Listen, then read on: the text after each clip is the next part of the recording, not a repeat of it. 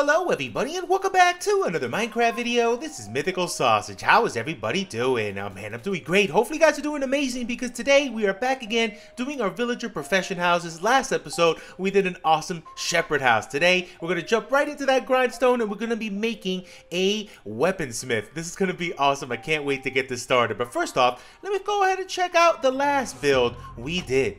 And here is our shepherd's house we built on the last episode. So check the description if you guys want to get caught up and build this one for yourself. But for right now, let's get it started with the toolsmith. Alright, and here we go with the dimensions. So everything's all laid out in wool. Count out the blocks, find yourself a nice spot, and we'll get this started right now.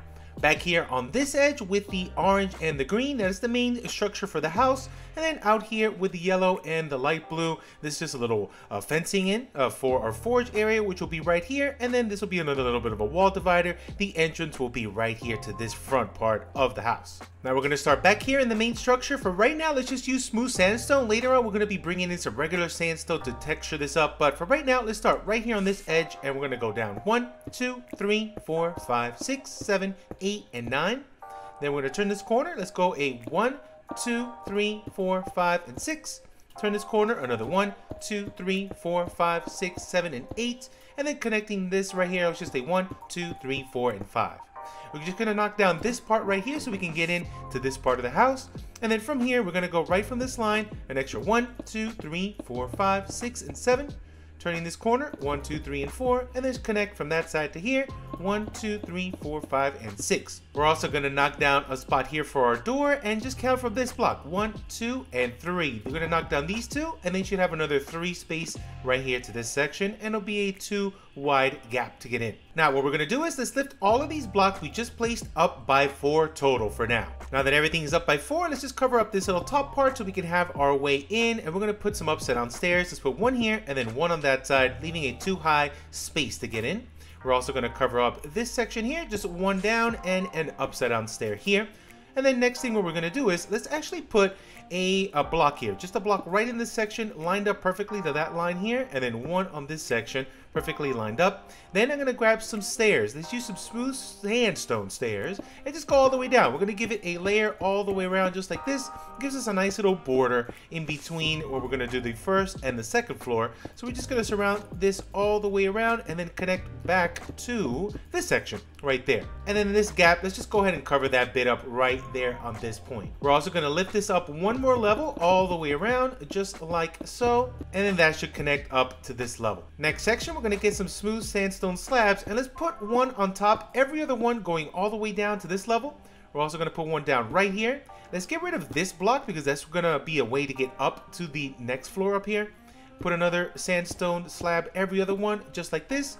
And then we're going to grab our spruce trapdoors and put those in the gaps going around like so. Next up, we're going to grab our yellow terracotta. And you don't have to use yellow. You can use any color terracotta. It would look awesome as well. We're going to lift this up one, two, three, four, five, and six. And we're going to wrap this all the way around the top. And there we go. We got this up by six. Next up, let's go ahead and put some upside down smooth sandstone stairs. And we're going to go around and put one in every other one just like this until we wrap this around. And then after that, let's grab some of our slabs of our smooth sandstone and put it in the gaps we missed. After that, we're gonna grab a full block of our smooth sandstone and wrap this around. And then once we have that, let's put our slabs of our smooth sandstone, every other one, all the way around. And then to match what we did down here, let's put our spruce trapdoors in those gaps. And it should look like this in the end. Now, the next bit of detail, I'm gonna grab our spruce trapdoors and line up this level all the way around as well. Now, one optional detail, you don't have to do this, but I think it will look pretty cool. You grab a loom, you turn it sideways, and you put that in these gaps that we have up here, and we could wrap this around and it gives us a nice bit of detail on the top. And there you go, it should look like this all the way around. Now next up, let's cover up this top part. What I'm gonna be doing here, let's grab some of our spruce and let's take it down,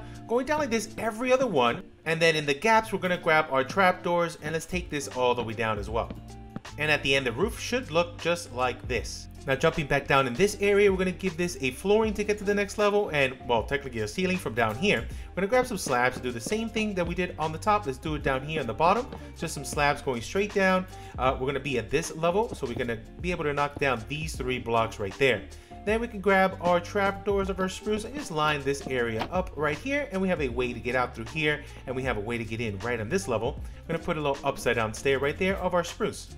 Then next up, let's go right down here and start uh, making some stairs to get up. So I'm gonna go ahead and put a line of our regular smooth sandstone going all the way down this way. I'm gonna put a stair right here at this level and a stair every other level until we get down to this spot and then just cover up the rest in the middle. Then from here, we're to give this a little bit of an overhang. So let's put an upside down stair, an upside down stair, and a slab in the gap right here. I'm going to grab some of our campfire blocks and let's go down from here. One and two, one and two, another two here. Then let's extinguish this really quick.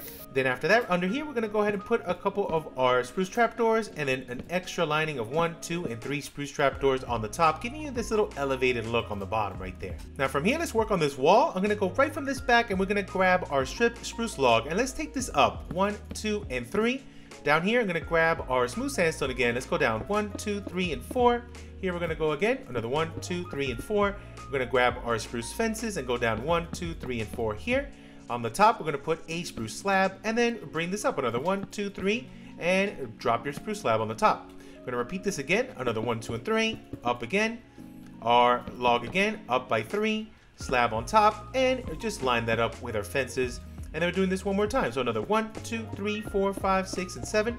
Take this up by two. Bring your fences all the way down. Take this one up one, two, and three. Let's put a slab on the top. And then on the top of these, we're gonna grab our spruce trapdoors and just line up the top right here on top of every fence we just placed all the way to the end. Then we're gonna do the same thing over here on this side. So this goes right up against this wall. Another one, two, and three. Bring our smooth sandstone up one, two. Take this up another one, two, and three here.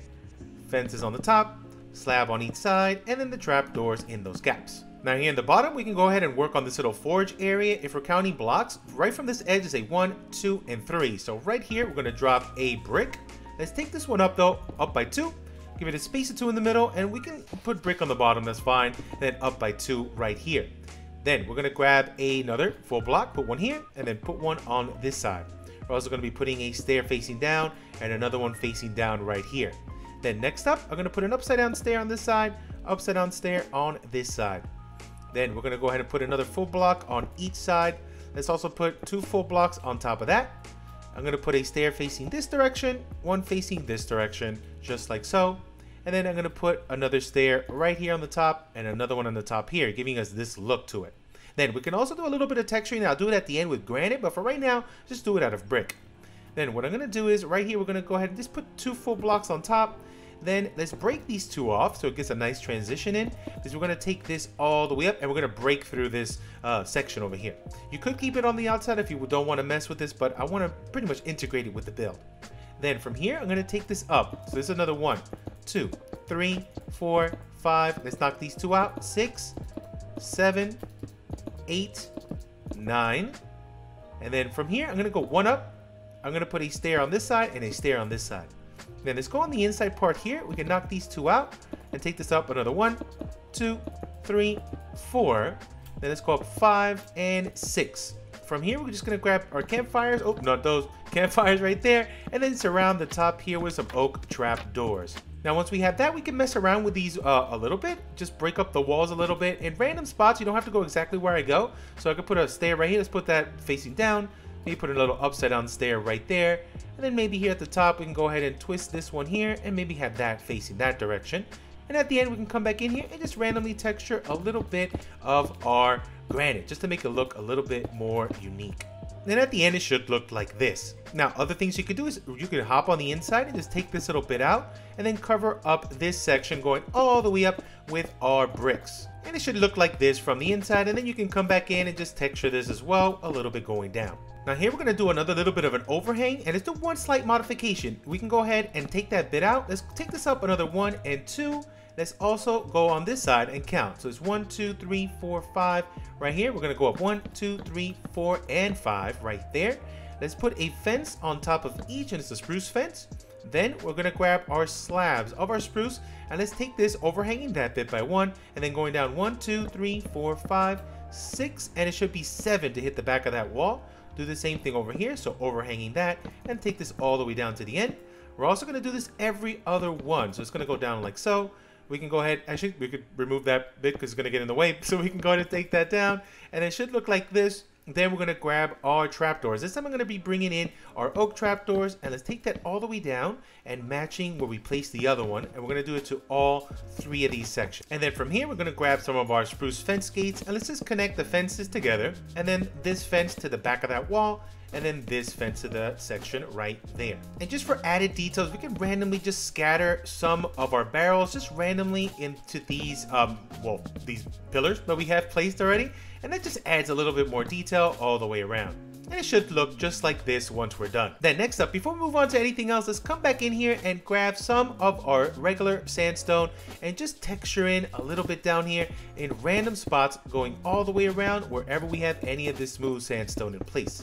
And there you go, at the end it should look like this all the way around, some stairs, some of the slabs changed with that regular sandstone just to break it up a little bit around this area. Now, let's work on windows and doors. So, let's actually start right here on this side. I'm gonna add a window. Let's actually count right from this block, a one, two, three, we're gonna go up another one and two. Let's get rid of these two right here. We're gonna put a upside down stair right here, and it could be the sandstone one or also the smooth one. You can mix it, it's all good. Then right next to it, we're gonna be putting some trapdoors on the side for shutters. I'm gonna be grabbing our fence gate. Let's open that up. Let's drop a campfire top and extinguish that bit right there. Then on this side, I'm gonna leave that clean. And then on this side, I'm gonna be putting two windows. Let's put one right here, one and two. Let's go ahead, actually, let's go one and two on this end. Let's put one and two on this side. I'm gonna be grabbing our stairs again. Let's go upside down on this section and then one straight on that end. Let's go one on this side and then one on that side. Leaving our trapdoors opening on the opposite ends right there. Then let's open up our gates and then let's grab our campfires. Let's put that on the top. Also for extra details, I'm gonna go ahead and put a uh, bush right underneath that window. Let's put another one underneath that one. Then underneath this, we're just gonna be grabbing some of our trapdoors and let's put those right underneath just like so. I'm also gonna go on this side and do the same thing. So let's grab a bush, put that in the center, and then underneath here, we're just gonna be putting a trapdoor as well. Now from here, let's add some windows to the bottom. I'm gonna put one on the same level that one is at, and we're gonna also do the same style with our stairs going down like this. We're also gonna be putting our trapdoors and matching exactly what we did at the top.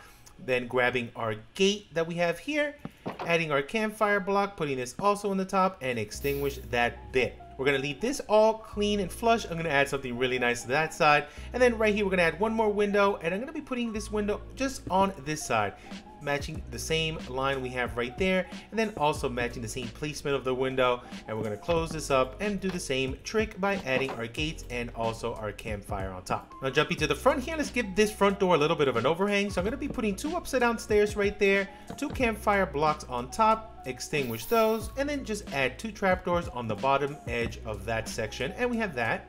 Then on the inside part here, really super simple, just gonna add two doors, one and one over here, and then we're gonna add some of our oak trapdoors on the top, and it should look like this from the outside. Now coming here on the inside, let's go ahead and set up this level over here. So we're gonna be putting a line of spruce every other one going down this direction. And in the gaps, we're also gonna do those trapdoors we did on the other side. Now for the ceiling up here, we're going to be grabbing our strip spruce logs and let's take it all the way down right at this level. We're going to take it down every other one going all the way down from front to back. And then in the gaps here, we're just going to be grabbing our spruce slabs and taking that all the way down as well. Then since we're up here, let's work on the interior. So what I want to do, I want to elevate this backside here. So starting from this block, let's count one, two, three, and four. Let's put a beam going down right here, the same one we have up top. Let's put a beam going straight down this level. Then here to change up the color a little bit, let's grab some of our oak and let's cover up this top end right over here. Now, right in this section, let's actually take this down and let's put our beam going up. I'm gonna be grabbing some fences over here and let's drop these fences going down this side. Let's get rid of that bit and let's put a stair right here of our oak. On top of this log, we're also going to put a slab. So we have this way up to this level right here. And just for added details, I'm going to add some trapdoors to the top to match what we have on the outside. Now back here, we're going to have an area for our toolsmiths to sleep. And you can have as many beds as you want over here. I'm going to put two. So I'm going to put one on this side and then one here, giving a space in between each.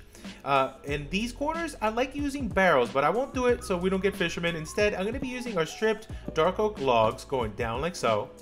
Then I'm to be putting some of our item frames in those gaps. Then grab some oak trapdoors and I'm to be putting these almost like little drawers that could be opened up and you could turn those to the sides. Any side would do and something like that will look pretty good. Then from here, uh, we can go ahead and maybe put a lantern on, one on each side. Let's put a flower pot in the middle. Pretty much any plant there would do. Up here, we could do a little bit of a shelving unit. Let's go ahead and put slabs every other one, trapdoors in the gaps. Then up here, we can add, um, let's add some chests.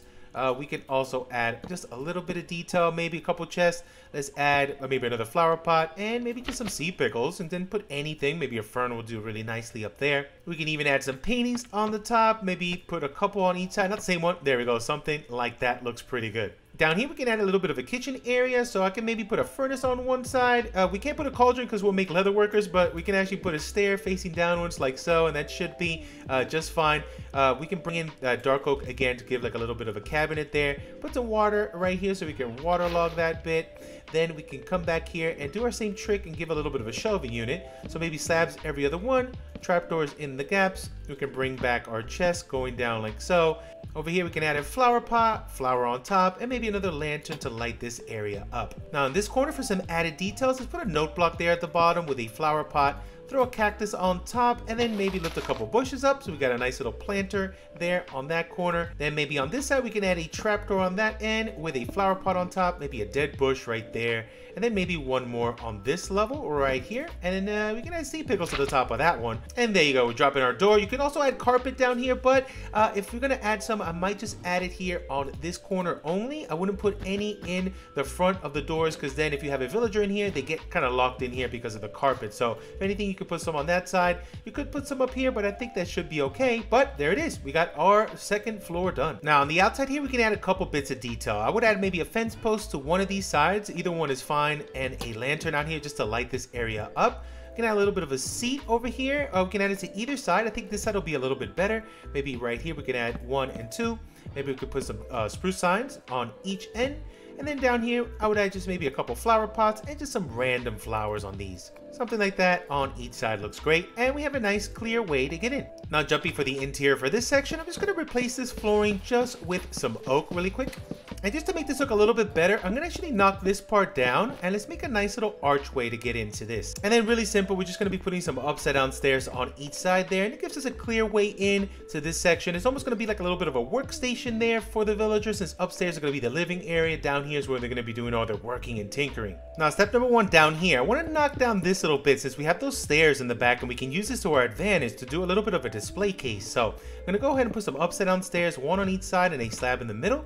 Here I'm gonna go with a stair facing down, another one facing down, and a slab on top. Then back here, let me just put some random weapons. And there you go. We got a diamond sword, another right sword, and a golden axe. Very cool old school video game. And then grab some glass and just cover that bit up. So we have a little bit of a display case right there. Uh, we could even put some lighting underneath if you wanted to, but I think it looks pretty good just like that. Then coming over here to the back, I want to give this almost like a little bit of a counter. So right from this level, I'm going to go ahead and take this uh, dark oak um, log all the way down, 1, 2, 3, and 4, leaving this one open. I'm going to put a gate right here. We can go ahead and put that out of spruce right there on this section. So it's for like employees only back here. And then on this side, we can have people come to the counter, ask for any kind of weapon they want uh, that they might need or whatever. Then to kind of match what we did upstairs, I have these cool note blocks right there. Let's put some of our flower pots on top there, dead bush on top of those, and on this side I'm gonna put an oak leaf, and on this side I'm gonna put a birch leaf. So we got these cool, awesome leaves right there. That looks really awesome. Then right here in the back, let's give ourselves a nice little counter space. So I'm gonna go ahead and take this all the way around just like so, and then kind of surrounds it upside down stairs all the way in the top level. Then over here, let's get some grindstone so we can have a couple extra. Plus the villagers can be back here hanging out in this corner. Uh, let's maybe put a grindstone right on top of one of these. Maybe one more over here. Uh, let's grab some details and let's grab some chests maybe a chest on that side let's put a chest up top let's grab another note block use that as a barrel instead of an actual barrel uh, let's actually put one over here on this corner as well let's stack some chests up going down like so let's also add a flower pot as well to one of these maybe right there let's grab a lantern to light up this area just a bit. But I'm gonna put them, uh, let's put one on this corner and then maybe one more on this corner. Then let's grab some item frames and let's go ahead and put some more weapons on the top. And then we can have a little bit of a rack here on this corner, just like so on the top area as well. Maybe one more on the bottom here. And then down here below, we can add a little bit of carpet as well. Let's go with some cyan uh, and just drop this randomly on the bottom, kind of scatter it a little bit like so. That looks pretty good.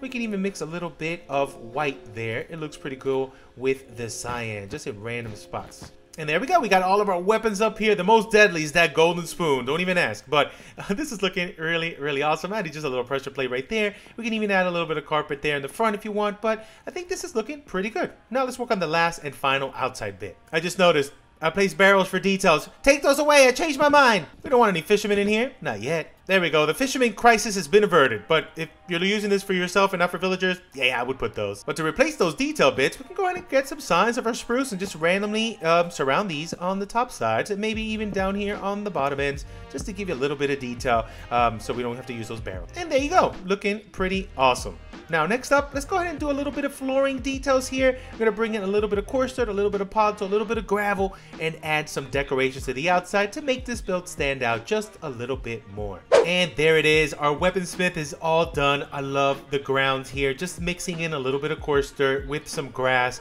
leaving in some of the sand in just random spots over here, but then adding some gravel uh, to the uh, the area. He's doing his blacksmithery. Looking so good. Look at that eye patch. He's so awesome. Also, back here I added almost like this is like the apron that he wears right there. You see that? It looked kind of cool right there with the netherite. So just little details like that make these builds stand out the most. Added a little bit of lava down here to the bottom. Some stairs. I turned those sideways so we could do a make it a little bit more detailed there at the bottom. He can't get hurt in there, so he's safe. He's all right. Uh, we have a little quenching station over here. Some more weapons. A little seat there with the grindstone. Uh, I do believe there's another villager in here. There he is. This guy's the one manning uh, the front desk right there. And they change up in case anybody wants to come in here and do any kind of orders. That is looking really cool. I do love the details here around the back. Just adding a little bit of greenery to your desert builds. Make it looks, uh, it looks almost oasis-like. And I really do like that. Back here, I added a little bit of a vine wall, a little ivy wall, just to add detail to the sides of the walls that don't have any windows. And that just adds to those details. I love it. Uh, here, we just added some fences, some vines in here as well. And then also some ladders just to add to that. Oh, and it's so cool. What do you guys think? this one came out really cool and it's also matching exactly what we did over there to our other villager profession, the shepherd. But this is it. This is the uh, the weaponsmith. Let me know what you guys want to see next. We got so many other amazing villagers coming up. I do love the color palette we're using here. Let me know if you do as well. But I'm out of here for now. Thank you all so much for watching. Thank you for hanging out with me today. And I'll catch you guys on the next episode. Goodbye.